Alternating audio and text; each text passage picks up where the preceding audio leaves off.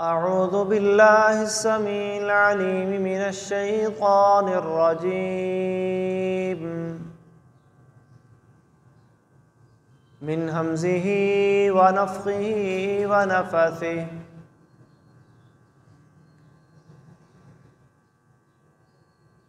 وإذ قال إبراهيم رب اجعل هذا بلدا آمنا وارزق أهله من الثمرات من آمن منهم بالله واليوم الآخر. قال ومن كفر فأمتعه قليلا. ثم أضطره إلى عذاب النار. وبئس المصير. وإذ يرفع إبراهيم القواعد من البيت وإسماعيل ربنا تقبل منا إنك أنت السميع العليم. قال النبي صلى الله عليه وآله وسلم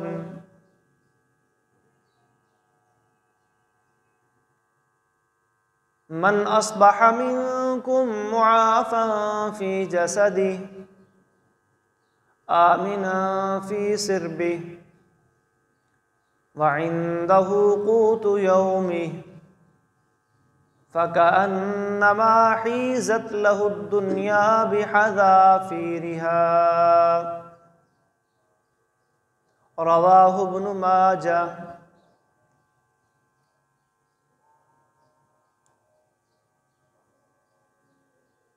اللہ سبحانہ و تعالیٰ نے جب اپنے ایک جلیل القدر پیغمبر حضرت ابراہیم علیہ السلام کو مکۃ المکرمہ میں اپنا گھر بنانے کا حکم دیا، تو حکم کی تعمیل کرتے ہوئے انہوں نے اس گھر کی تعمیر کی۔ اور بیت اللہ کی تعمیر کرنے کے دوران اور تعمیر کرنے کے بعد انہوں نے اللہ تبارہ کا و تعالیٰ سے کچھ دعائیں مانگی سورہ بقرہ کی ان آیات میں اللہ تبارہ کا و تعالیٰ نے حضرت ابراہیم علیہ السلاۃ والسلام کی ان دعاؤں کا تذکرہ فرمایا ہے۔ انبیاء کرام علیہم السلام اللہ کی منتخب کردہ برگزیدہ ہستیاں ہوتی ہیں، ان کی دعاؤں میں بھی بڑے سبق ہوتے ہیں۔ اسی لیے اللہ سبحانہ و تعالیٰ نے قرآن مجید میں مختلف انبیاء کی دعاؤں کا ذکر کیا ہے۔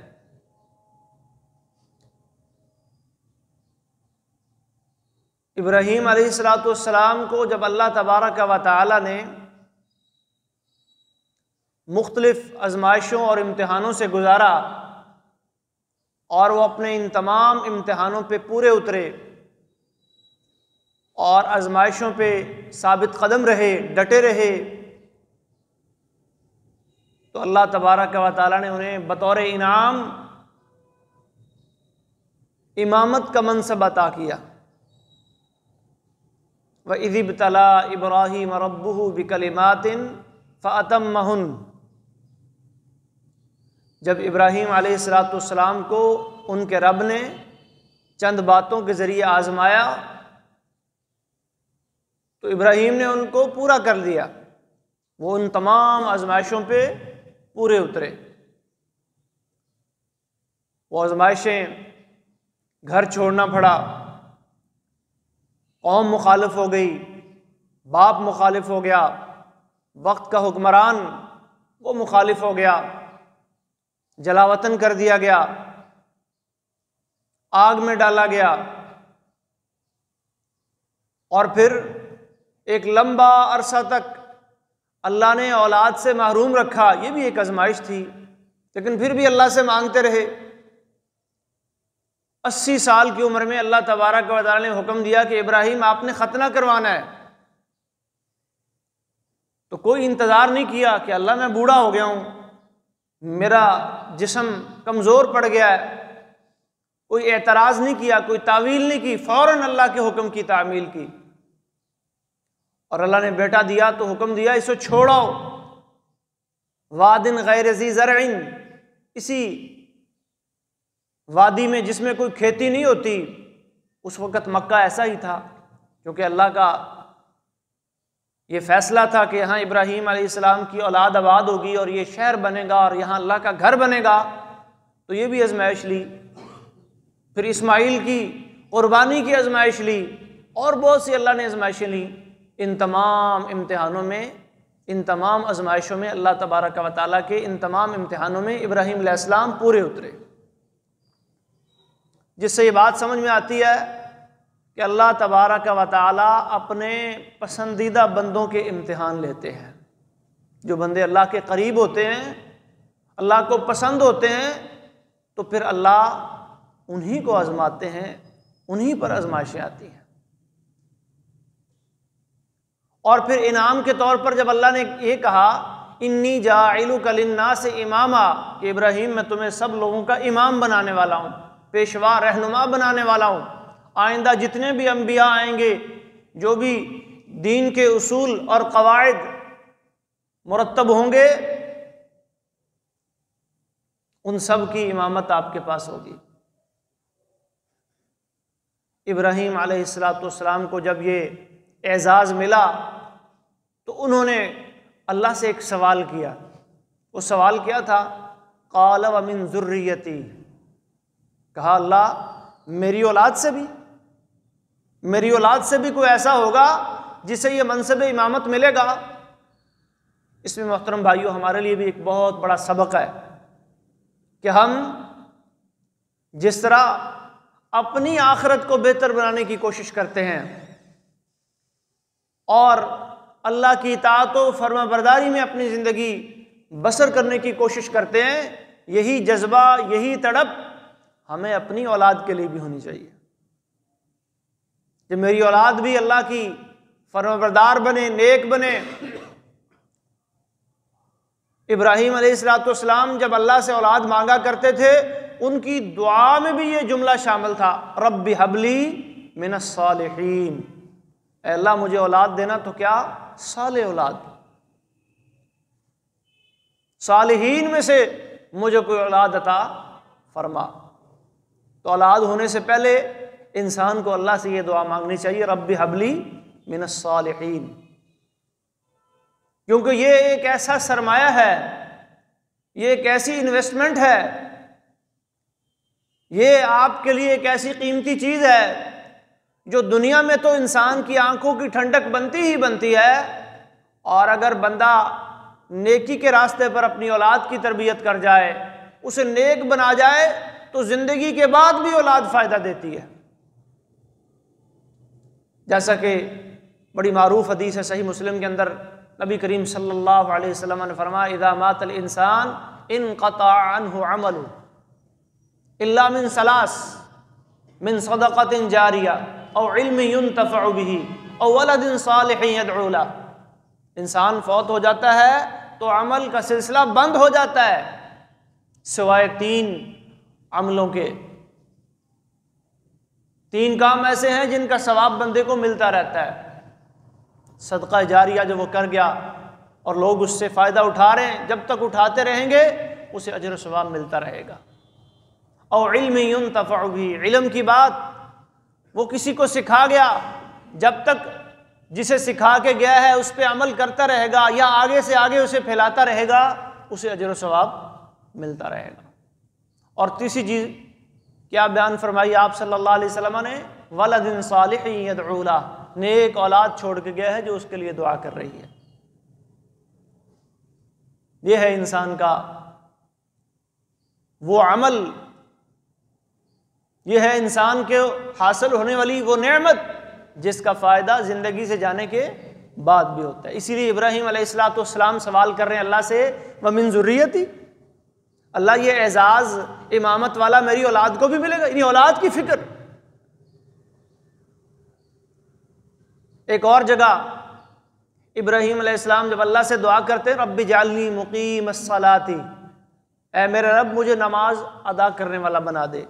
تو صرف یہ نہیں کہا کہ مجھے نماز پڑھنے کی توفیق دے۔ ومن ضروریتی ساتھ اپنی اولاد کے لیے بھی دعا مانگی اللہ میرے بچوں کو بھی نمازی بنا۔ میرے بیٹوں کو، میری بیٹیوں کو، میرے اہل خانہ کو۔ ان کو بھی نماز پڑھنے والا بنا دے۔ تو جس سے محترم بھائیو یہ سبق ملتا ہے کہ ہمیں اپنی تیاری کے ساتھ ساتھ، ہمیں خود نیک اعمال کرنے کے ساتھ ساتھ اپنی اولاد کی تربیت پہ بھی خصوصی توجہ دینی چاہیے۔ اور انبیاء کرام علیہ السلام کا انداز یہی تھا۔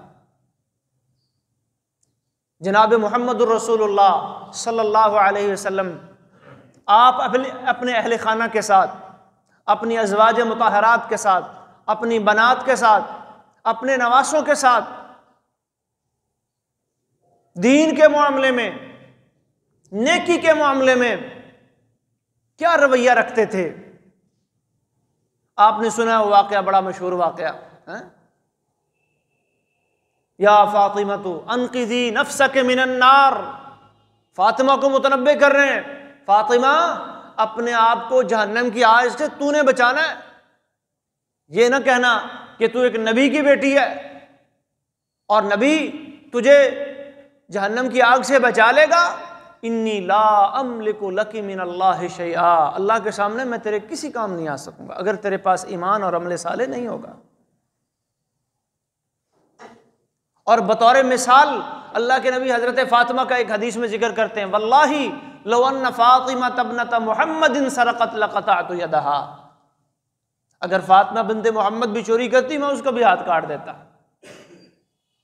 دین کے معاملے میں آپ نے کبھی رو رعایت نہیں برتی کہ یہ میری اولاد ہے، یہ میرے بچے ہیں۔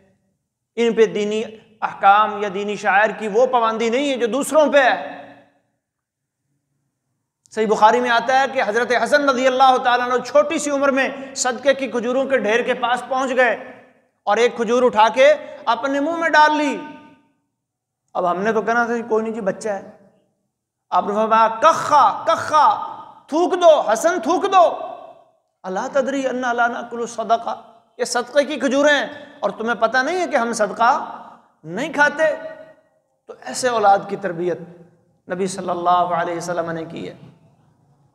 اپنی ازواج متحرات کو بھی دین کے اوپر چلایا ہے۔ بنات کو بھی نواسوں کو بھی، جتنے بھی آپ کے اہل بیت ہیں، ان کو آپ صلی اللہ علیہ وسلم نے دین کی تربیت کی، دین کے اوپر چلایا۔ اچھا باغ اللہ کا جواب سنیں۔ جب ابراہیم علیہ السلام نے کہا نا، ومن ضروریت تھی کہ اللہ یہ اعزاز، امامت والا میری اولاد کو بھی ملے گا۔ قال اللہ، ینال عہد الظالمین۔ اللہ فرماتے ہیں، میرا وعدہ ظالموں تک نہیں پہنچے گا۔ آپ کی اولاد میں سے جو ظالم ہوں گے، میرے نافرمان ہوں گے۔ تو صرف اس وجہ سے کہ وہ آپ کی اولاد میں سے ہیں، نبی کی اولاد میں سے ہیں، ان کے لیے میرا وعدہ نہیں ہے۔ ابو جہل کون تھا؟ ابو لہب اتبا شہبہ ولید، یہ کون تھے؟ سارے حضرت ابراہیم کی نسل سے ہی ہے نا جی۔ اسماعیل علیہ السلام کی نسل چل رہا آگے یہ عرب میں۔ ابراہیم علیہ السلام کو اللہ نے دو بیٹے دیے تھے، ایک کو مکہ میں آباد کیا، ایک کو شام میں مکہ میں اسماعیل کو آباد کیا اور شام میں اسحاق کو آباد کیا۔ اسحاق سے آگے نسل چلی، یعقوب، یوسف، یہ سارے بنی اسرائیل جو ہیں، اہل کتاب یہ سارا یہ حضرت اسحاق کی نسل سے۔ اور یہ جو مکہ میں آباد عرب تھے، یہ سارے جو ہیں، وہ حضرت اسماعیل کی نسل سے ہیں۔ لیکن ان میں نیک بھی ہیں، ان میں بد بھی ہیں۔ اور قرآن نے یہاں ایک اصول اور مسئلہ بھی سمجھا دیا کہ آخرت میں کامیابی کا دار و مدار کسی نبی کے بیٹا یا بھائی ہونے پر نہیں ہے۔ آخر میں کامیابی کا دار و مدار انسان کے ایمان اور عمل سالے پہ ہے۔ رسول اللہ صلی اللہ علیہ وسلم فرماتے ہیں مم بطا ابھی عمل ہو لم یسر ابھی نصب ہو جس کا عمل اسے پیچھے چھوڑ دے، اس کا نصب اسے آگے نہیں لے جا سکے گا۔ وہ یہ نہیں کہہ سکتا کہ میں بڑے حسب و نصب والا ہوں۔ میرا بڑا قبیلہ ہے، میری بڑی قوم ہے۔ میرا بڑا اونچا خاندان ہے۔ چلو کھولو جنت کا دروازہ، مجھے جانے دو آگے۔ دنیا میں تو ہم کہتے ہیں نا جی کسی دفتر میں، آفس میں چلا جاؤ، میں فلاں کا بیٹا ہوں۔ ٹول پلازے پہ میں، تو جانتا نہیں میں کون ہوں۔ اللہ کے ہاں محترم بھائیو، یہ معیار نہیں ہے۔ اللہ کے ہاں معیار کیا ہے؟ اللہ اکبر۔ آمن و الصالحات، ایمان اور عمل صالح۔ تو اسی لیے جب ابراہیم علیہ السلام نے یہ بات اللہ سے کی نا، اللہ یہ امامت کا منصب، یہ اعزاز میری اولاد کو ملے گا۔ قال لا ینال عہد الظالمین۔ فرمایا، نہیں ابراہیم، یہ میرا وعدہ ظالموں کے لیے نہیں ہے۔ ہاں تیری اولاد میں سے جو نیک ہوں گے، ان کو یہ اعزاز میں دوں گا، لیکن جو بد ہوں گے، جو برے ہوں گے، جو ظالم ہوں گے، ان کے لیے میرا وعدہ نہیں ہے۔ اب آگے ابراہیم علیہ السلاۃ والسلام کی دعائیں شروع ہو رہی ہیں۔ وہ کیا دعائیں مانگی ابراہیم علیہ السلام نے اللہ تعالیٰ سے؟ ان دعاؤں میں بھی ہمارے لیے بڑے سبق ہیں۔ وَإِذْ قَالَ ابراہیم رب جعل هَذَا بَلَدًا آمِنًا۔ سب سے پہلی دعا، کیونکہ وہ شہر جہاں پہ حضرت ابراہیم نے اپنی اولاد کو آباد کیا تھا اور جہاں پہ اللہ کا گھر بنایا تھا، وہ مکہ شہر ہے۔ تو جب تک کسی شہر میں امن نہ ہو محترم بھائیو امن کے بغیر خوشحالی نہیں آ سکتی۔ امن کے بغیر قومیں ترقی نہیں کر سکتی۔ اس لیے ابراہیم علیہ السلام کی دعا میں سب سے پہلی دعا یہ ہے، اللہ اس شہر کو کیا بنا دے؟ امن والا شہر بنا دے۔ یہ دعا ایک اور جگہ بھی اللہ تبارک و تعالیٰ نے بیان فرمائی قال ابراہیم رب جعل هذا البلد آمنا۔ اور امن بھی اللہ کی نعمتوں میں سے ایک بہت بڑی نعمت ہے۔ بطور انعام اللہ تبارک و تعالیٰ نے سورت النحل میں بیان فرمایا، وَضَرَبَ اللَّهُ مَثَلًا قَرْيَةً كَانَتْ آمِنَةً مُطْمَئِنَّةً يَأْتِيهَا رِزْقُهَا رَغَدًا مِّن كُلِّ مَكَانٍ فَكَفَرَتْ بِأَنْعُمِ اللَّهِ۔ اللہ نے بیان کی ایک بستی کی مثال، یہی بکہ بکی بستی۔ جو امن سے تھی، اطمینان سے وہاں کے لوگ وہاں کے باسی رہ رہے تھے۔ پھر کیا ہوا؟ چاروں طرف سے رزق آ رہا تھا۔ کھلا کھا رہے تھے۔ فقہ فرت بنعم اللہ۔ یہ رزق کی فراوانی، یہ امن، یہ خوشحالی۔ انہوں نے پھر اللہ کی نعمتوں کی ناشکری کی۔ فَأَذَاقَهَ اللَّهُ لِبَاسَ الْجُوعِ وَالْخَوْفِ۔ تو اللہ نے پھر بھوک اور خوف کا مزہ چکھایا۔ بدمنی اور دہشت گردی کا پھر اللہ نے مزہ چکھایا اور یہ کب ہوا؟ کفارت بنعم اللہ، جب انہوں نے اللہ کی نعمتوں کی ناشکر، بدمنی کب آتی ہے محترم بھائیو؟ جب انسان اللہ کی نعمتوں کا نہ شکرہ بن، یہ رب کا قرآن کہہ رہا ہے۔ جب انسان اللہ کی نعمتوں کی ناشکری کرنے لگ جاتا ہے، اللہ کے دین سے ہٹ جاتا ہے۔ ہم سمجھ لیتے ہیں سیکیورٹی کیمرے لگا لینے سے فون ٹیپ کر لینے سے، سیکورٹی کے جال بچھا لینے سے، بندے کھڑے کر لینے سے امن آ جائے گا۔ اللہ کا قرآن کہتا ہے، امن کیسے آئے گا؟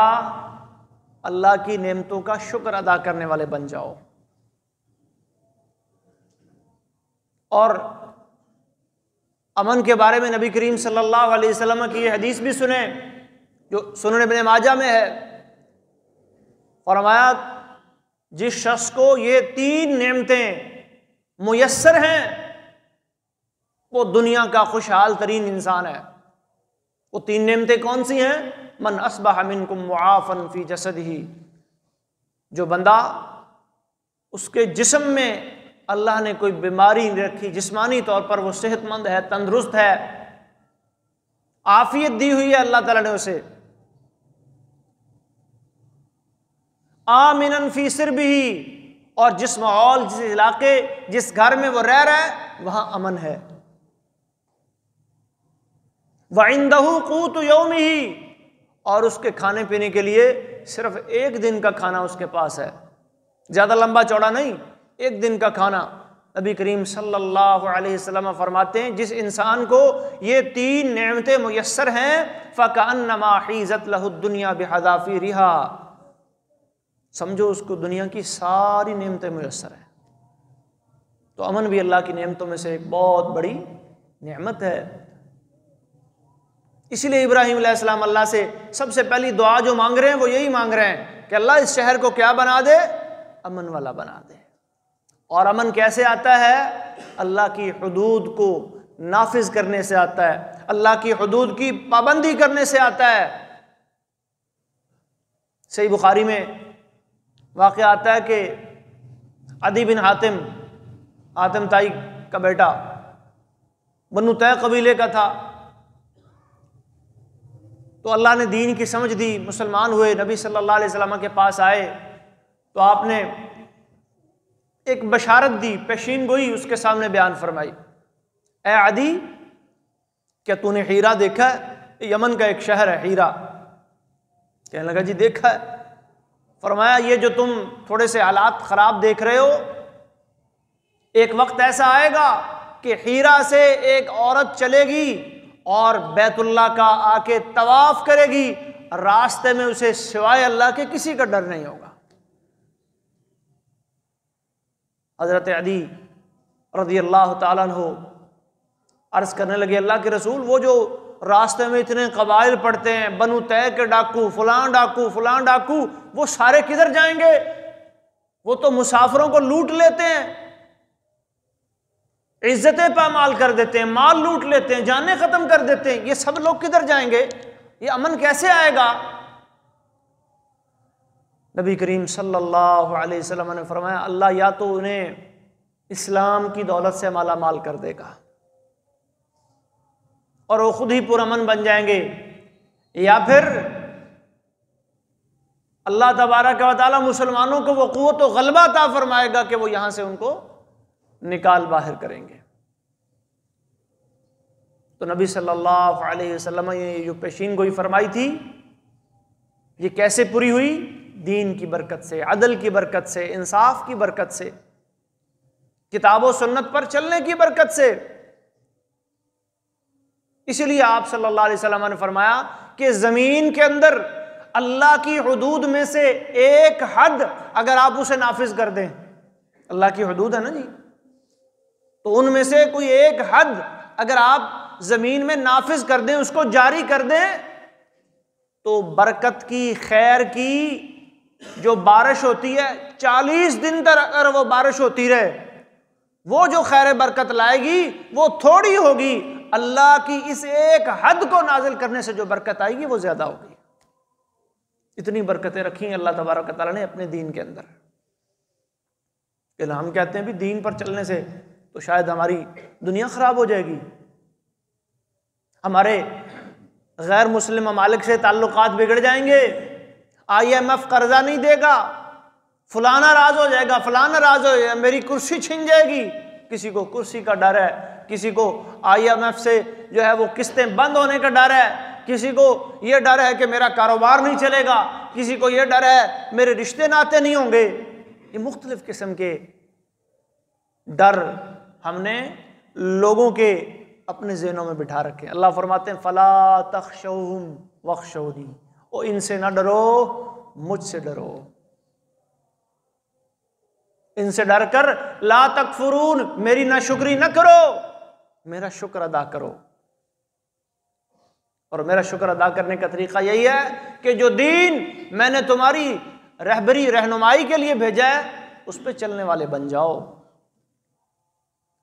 نبی صلی اللہ علیہ وسلم نے اس بات کی طرف بھی اشارہ کیا تھا کہ جب کسی علاقے میں، کسی ملک میں، کسی قوم میں کتاب و سنت کا نظام نافذ نہ ہو وہاں کے حکمران کتاب اللہ کے مطابق فیصلے نہ کریں۔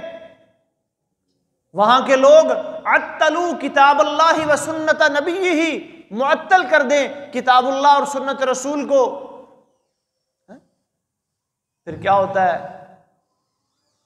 جعل اللہ بینہم۔ پھر لڑائیاں شروع ہو جاتی ہیں۔ پھر اختلافات شروع ہو جاتے ہیں۔ پھر فساد اور بدمنی شروع ہو جاتی ہے۔ اور فساد اللہ کو پسند نہیں۔ واللہ لا يحب الفساد۔ لا تفسدوا فی الارض بعد اصلاحها۔ انبیاء کرام علیہ السلام نے اپنے قوموں کو، اپنے ماننے والوں کو ہمیشہ اصلاح کا پیغام دیا۔ فساد کا درس کسی نے بھی نہیں بھی دیا۔ فساد اللہ کو پسند نہیں۔ اللہ کو امن پسند ہے۔ اسی لیے اللہ کے نبی ابراہیم اللہ سے امن کی دعا کر رہے ہیں۔ اللہ اس شہر کو امن والا بنا دے۔ لیکن یہ کمن کیسے آئے گا؟ کتاب و سنت پہ عمل کرنے سے، کتاب و سنت کے مطابق اپنی زندگیوں کو بنانے سے آئے گا۔ ورنہ جتنا مرضی زور لگا لیں۔ امن جو ہے، وہ ہاتھوں سے نکلتا چلا جائے گا۔ اور یہ اللہ کی بہت بڑی نعمت ہے۔ ابھی پچھلے دنوں ایک سانحہ ہوا پشاور کے اندر، مسجد میں بم پھٹا، آپ لوگوں نے سنا۔ نہتے اور معصوم نمازی، نماز پڑھنے کے لیے آنے والے۔ خون ناحق۔ لا تقتل النفس التي حرم اللہ الا بالحق۔ اللہ نے واضح حکم دیا قرآن میں کہ کسی ناحق جان کو اور پیغام کیا گیا۔ ایسا کبھی فیل کرنے والوں نے یہ کام کر کے عالم پوری پورے عالم کو، عالم اسلام کو، خاص طور پر پاکستان کے مسلمانوں کو کیا پیغام دیا؟ اللہ فرماتے ومن ممن منع مساجد اللہ ان یذکر فی اسمہ وسعى فی خرابها۔ اس سے بڑا ظالم کون ہے جو اللہ کی مسجدوں میں لوگوں کو آنے سے روکے اور ان کو ویران کرنے کی کوشش کرے؟ لہم فی الدنیا خزی ولہم فی الاخرت عذاب عظیم۔ اللہ نے دو ان کے بارے میں وعید بیان فرمائی ان کے لیے دنیا میں بھی رسوائی ہے، یہ دنیا میں بھی ذلیل رسوا ہوں گے اور آخرت میں ان کے لیے عذاب عظیم۔ بہت بڑا عذاب اللہ نے تیار کیا جو اہل اسلام پر اس طرح کے دہشت گردوں والے حملے کرتے ہیں، نہتے اور معصوم مسلمانوں کو یوں قتل کرتے ہیں کیا اللہ ان سے سوال نہیں کرے گا؟ بے زمبن قتلت؟ صرف وہ زندہ دفن کی گئی، بچی سے سوال نہیں ہوگا۔ یہ خون ناحق کرنے والے سے بھی سوال ہونا ہے۔ ہاں بھائی، کیوں مارا؟ حدیث میں آتا ہے، نبی کریم صلی اللہ علیہ وسلم نے فرمایا، قیامت کا دن ہوگا، قاتل مقتول کے ہاتھ میں ہوگا۔ مقتول اس کا ہاتھ پکڑ کے اللہ کی عدالت میں لائے گا۔ اور پوچھے گا اللہ سے، اللہ اس نے مجھے قتل کیا تھا، اس سے پوچھ مجھے کیوں مارا تھا، میرا جرم کیا تھا؟ کس جرم میں اس نے مجھے وہاں پھر بندہ کوئی جواب نہیں دے سکے؟ گا پھنس جائے گا، تباہ ہو جائے گا، برباد ہو جائے گا، ہلاکت اس کا مقدر بن جائے گی۔ لزوال دنیا احون اللہ۔ اسی لیے نبی صلی اللہ علیہ وسلم نے فرمایا کہ ایک مسلمان کا قتل اور دوسری طرف دور دنیا کی تباہی اور بربادی، دنیا کا زوال احون اللہ اللہ کے نزدیک یہ معمولی بات ہے۔ من قتل رجل مومن، کس سے معمولی بات ہے؟ کہ آپ کسی مومن آدمی کو قتل کر دیں۔ اسلام تو امن کا دین ہے، امن کا پیغام ہے۔ المسلم من سلم المسلمون من لسانه و یدی۔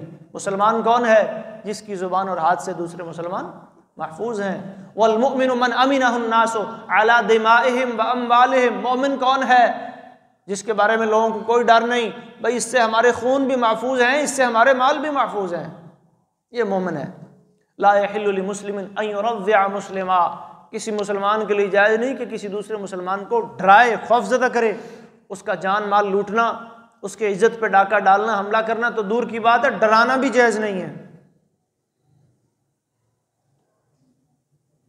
آج کل ایک نئی نوجوانوں نے اس طرح نکالی جی پرینک کی اصطلاح ہے سنی ہوگی آپ نے بھی۔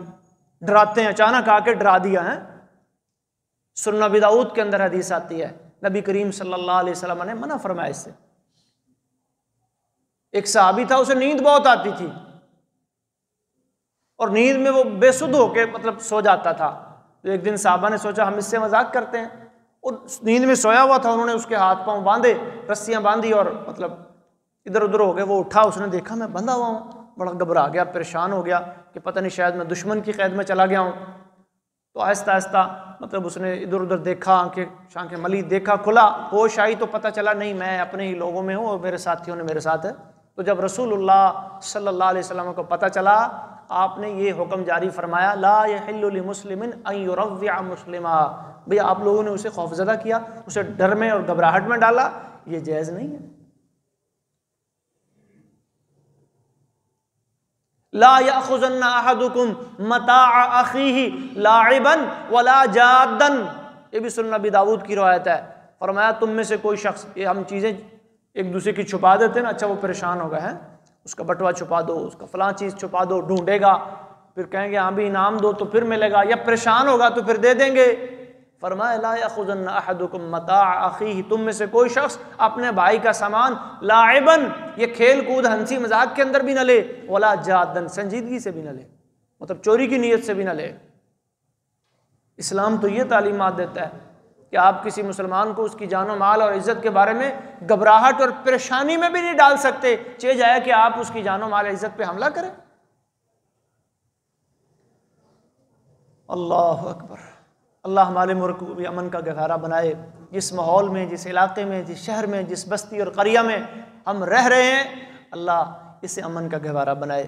اور یہ نبوی دعا ہے مطلب انبیاء کی دعا ہے۔ نبی کریم صلی اللہ علیہ وسلم نے بھی دعا کی تھی۔ مدینہ میں جب آئے تھے تو مدینہ کے لیے بے شمار دعائیں کی وہاں کے شاہ میں برکت ڈال دے اللہ، وہاں کے مد میں ڈل برکت ڈال دے اللہ، یہاں امن عطا فرما دے اللہ۔ اور ابراہیم بھی کر رہے ہیں، رب جعل حاضہ بلدن آمینہ۔ اے اللہ، اس شہر کو کیا بنا دے؟ امن والا۔ امن اللہ کی بڑی نعمت ہے۔ لیکن امن آئے گا محترم بھائیوں کتاب و سنت پر عمل کرنے سے، قرآن و حدیث کو اپنانے سے۔ جتنا ہم کتاب و سنت سے، اپنے دین سے، اپنی اصل سے دور جائیں گے، اتنا ہی ہم بدمنی، خوف اور دہشت گردی کا شکار ہوتے چلے جائیں گے۔ وردق من الثمرات۔ اگلی دعا کیا کر رہے ہیں ابراہیم؟ اے اللہ، یہاں جو رہیں، یہاں جو آئیں، میری اولاد کے ہوں یا باہر سے آنے والے ہوں، ان کو مختلف پھلوں کا رزق عطا فرما۔ من آمن منہم باللہ والیوم الاخر، لیکن اللہ یہ رزق صرف انہی کو دینا جو اللہ اور آخرت کے دن پر ایمان لائیں، باقیوں کو نہ دینا۔ تو ابراہیم علیہ السلاۃ والسلام ایک دعا یہ بھی کر رہے ہیں یعنی اللہ میری اولاد کی معاشی حالت بھی بہتر بنا۔ تو اپنی معاشی حالت اور اپنی اولاد کی معاشی حالت بہتر بنانے کے لیے اللہ سے دعا کی جا سکتی ہے۔ کئی لوگ کہتے ہیں، یار، کیا یہ دعائیں منگواتے رہتے ہو؟ فلاں کو مطلب جاب مل جائے، فلاں کا کاروبار چل جائے، فلاں کا یہ ہو جائے۔ بھائی، یہ معاش ہے۔ یہ دنیا کی ضروریات ہیں۔ ان کے لیے ہم محنت بھی کریں گے، ان کے لیے ہم اللہ سے دعائیں بھی کریں گے۔ دیکھیں، اللہ کے نبی دعا کر رہے ہیں۔ اللہ یہاں کے رہنے والوں کو پھلوں کا رزق دے۔ لیکن وہ ابراہیم نبی ایک مشروط دعا کر رہے ہیں، جو ایمان لائے ان کو دے، جو ایمان نہ لائے ان کو نہ دے۔ اللہ اس کا جواب دیتے ہیں وہ امن کا فرا فمت خلیل سم استر عذاب النار۔ نہیں ابراہیم، دنیا میں میرا ضابطہ یہ نہیں ہے۔ دنیا میں میرا قانون یہ نہیں ہے۔ دنیا کا ضابطہ یہ ہے کہ جو ناشکری کرے گا، جو انکار اور کفر کرے گا امت میں اسے بھی سامان دوں گا، میں اسے بھی دنیا کی نعمتیں اور ثروتیں دوں گا۔ لیکن قلیل آخرت کے مقابلے میں یہ کیا ہے؟ بہت تھوڑا۔ قل متاع الدنیا قلیل والآخرت خیر۔ آخرت بہت بہتر ہے۔ مت دنیا فی الآخرت اللہ مثل ما یجعل احدکم اصبعہ فی الیم۔ آخرت دنیا کا تو کوئی مقابلہ ہی نہیں ہے۔ موضع سوت فی الجنہ، جنت کے اندر صرف ایک چھڑی رکھنے کی جگہ، خیر من الدنیا وما فیہا، یہ دنیا اور دنیا کی ساری چیزوں سے بہتر ہے۔ چھوٹی سی جگہ، چھڑی رکھنے کی، بندے کھڑے ہونے یا بیٹھنے کی نہیں، لیٹنے کی نہیں، رہائش کی نہیں، ایک چھوٹے سے ڈنڈے کے کھڑے کرنے کی جگہ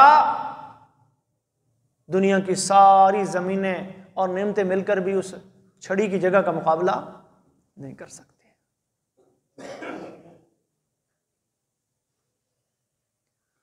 اللہ اکبر تو اللہ کا ضابطہ دنیا میں محترم بھائیو یہ ہے کہ وما من دابت فی الارض الا علی اللہ رزقها اللہ ہر کسی کو دیتا ہے لیکن ہمیں حکم یہ ہے کہ آپ نے رزق حلال تلاش کرنا ہے اور حرام سے اپنے آپ کو بچانا ہے فتق اللہ و اجملو فی الطلب اللہ سے ڈرو اور رزق کی تلاش میں اچھا راستہ اختیار کرو. کوئی جان اس وقت تک نہیں مرے گی جب تک اپنا رزق پورا نہیں کر لے گی۔ ان رزق کا لطلب العبد کما یطلب اجالو نبی صلی اللہ علیہ وسلم فرماتے ہیں، رزق بھی انسان کو ایسے ڈھونڈ لیتا ہے جیسے انسان کو اس کی موت ڈھونڈ لیتی موت سے بھی انسان نہیں بھاگ سکتا۔ رزق جو اللہ نے آپ کا لکھا ہے، انشاءاللہ وہ آپ کو مل کر رہے گا۔ لیکن اس کو اچھے طریقے سے تلاش کریں۔ حلال ذرائع سے تلاش کریں، حرام کی طرف نہ جائیں۔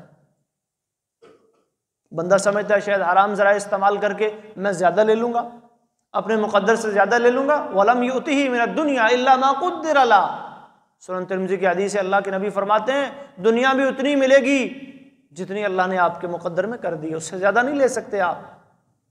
ہاں پھر یہ ہوگا کہ آپ پریشان ہوں گے، دنیا میں بھی پریشان ہوں گے، کیونکہ دنیا کے پیچھے بھاگیں گے، حرص، تما، لالچ۔ یہ چیزیں آپ کے گھر میں گھر کر جائیں گی، جگہ بنا جائیں گی۔ چوبیس گھنٹے آپ کو جال اللہ فکر ہو بین آئی نہیں یہی فکر، یہی سوچ۔ بہت سارے کاموں میں آپ اپنے آپ کو الجھا لیں گے۔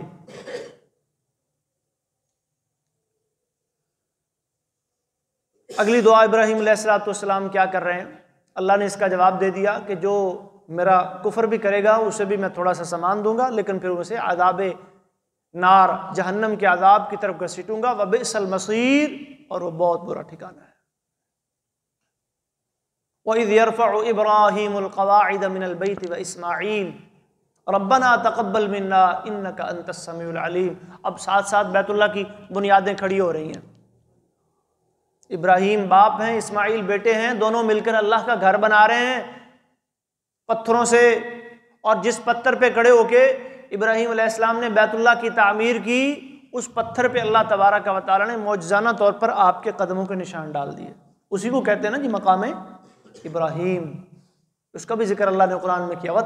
من مقام ابراہیم مسلح اب اس دعا میں بڑا ایک اہم سبق ہے ہمارے لیے۔ اللہ کے گھر کی تعمیر کر رہے ہیں، اللہ کا حکم بجا لا رہے ہیں۔ اللہ کی طرف سے عائد کردہ فریضے کو سر انجام دے رہے ہیں۔ لیکن اللہ سے دعا کر کیا کر رہے ہیں؟ ربنا تقبل منا۔ اللہ ہمارا عمل قبول فرما لینا نیکی کرتے ہوئے یا نیکی کر کے اپنے اس عمل پہ فخر نہیں کر رہے، بلکہ اللہ سے ساتھ ساتھ یہ دعا کر رہے ہیں، اللہ یہ نیکی کی توفیق تو دینے والا ہے، تو دے رہا ہے۔ تیرے حکم پر ہم یہ تیرا گھر بنا رہے ہیں۔ لیکن اللہ یہ کرم کرنا، یہ ہمارا یہ عمل قبول فرما لینا۔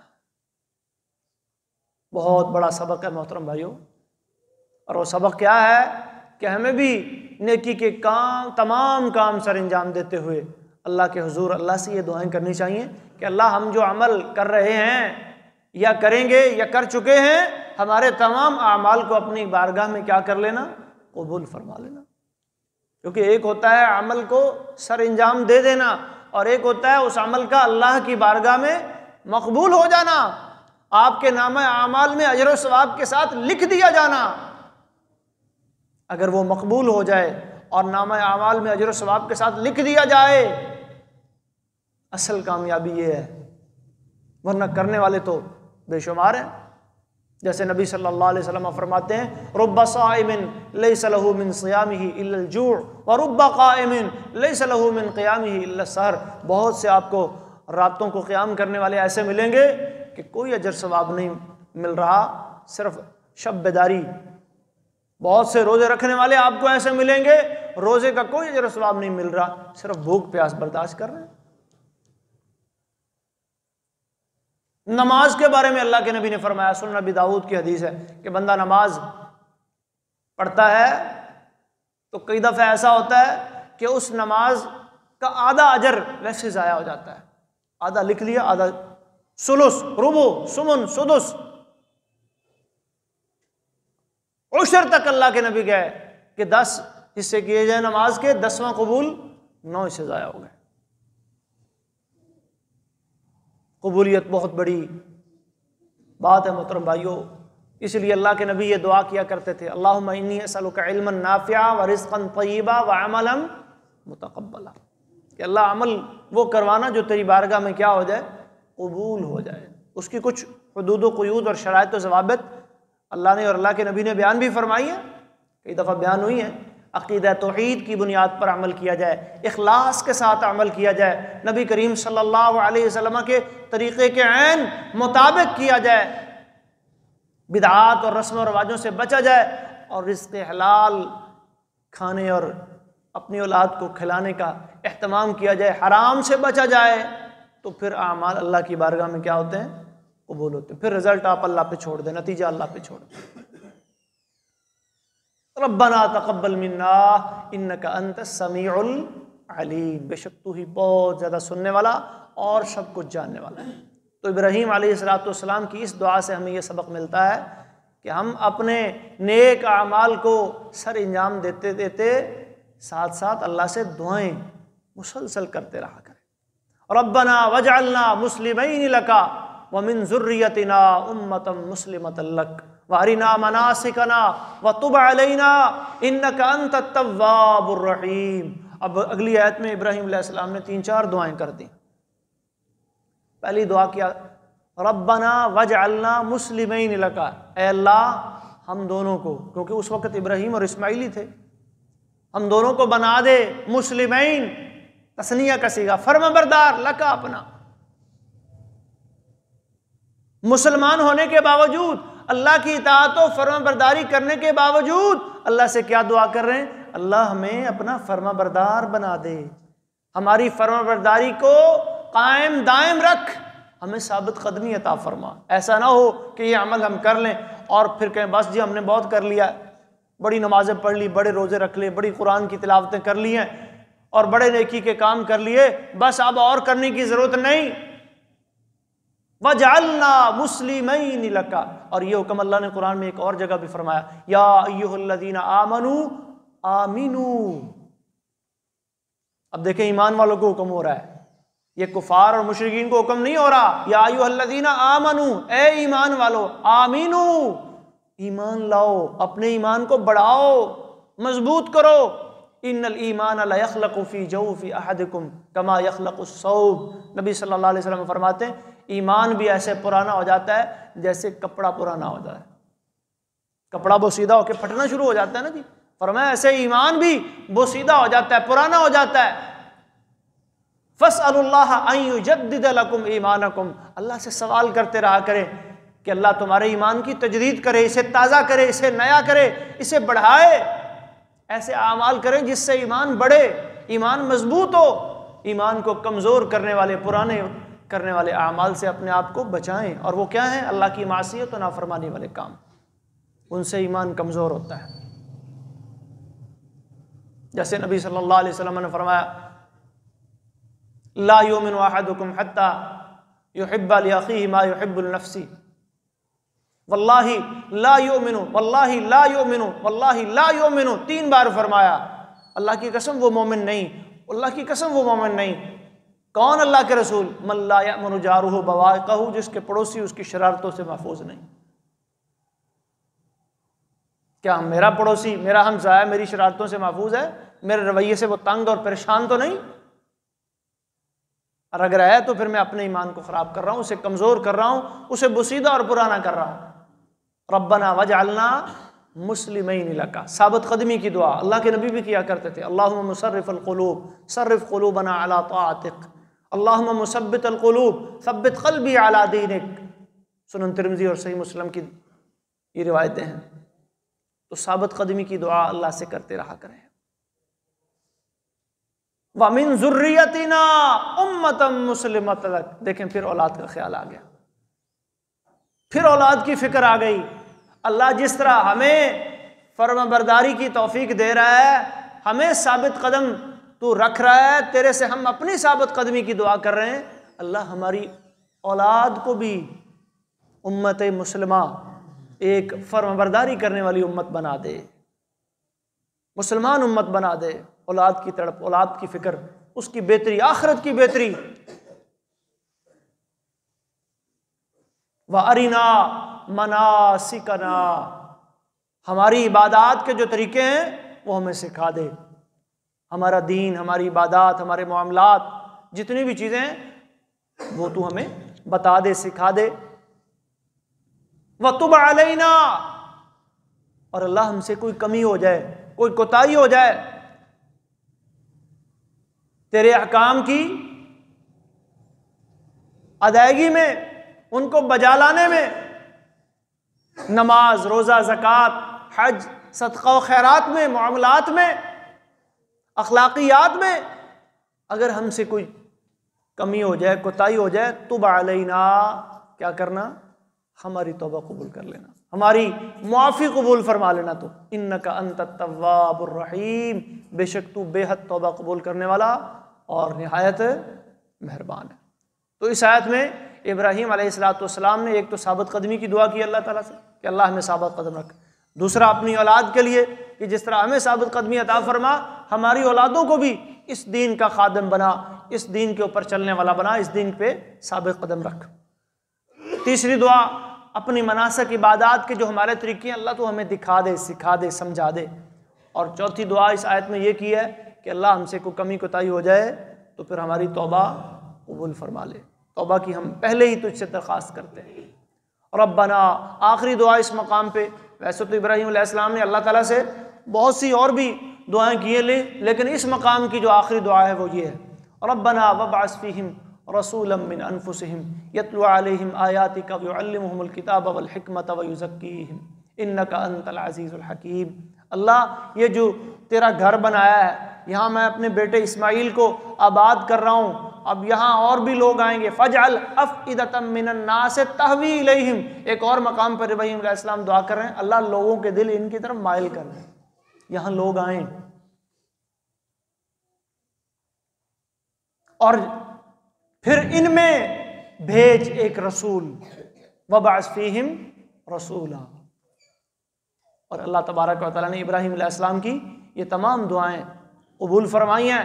اور یہ جو آخری دعا رسول کے آنے کی آپ فرما رہے ہیں، یہ جناب محمد الرسول اللہ صلی اللہ علیہ وسلم کی آمد کی دعا ہو رہی ہے۔ کیونکہ ابراہیم علیہ السلام کو بھی پتہ تھا کہ خاتم النبیین جناب محمد الرسول اللہ صلی اللہ علیہ وسلم نے تشریف لانا ہے، بلکہ ہر نبی نے اپنے آنے والی امت کو، قوم کو یہ نصیحت کی تھی کہ اگر تمہاری زندگیوں میں وہ خاتم النبیین آ گیا تو تم پر، اس پر ایمان لتؤمن النبی ولتنصرن، تو پھر تم نے اس کی مدد کرنی، اس پر ایمان لانا۔